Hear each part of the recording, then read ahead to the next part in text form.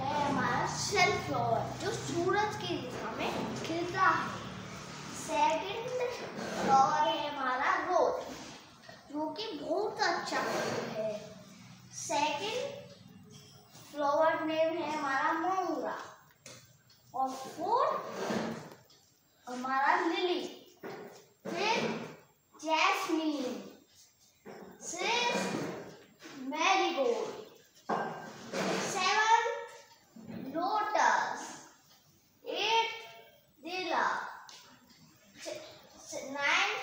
चंपा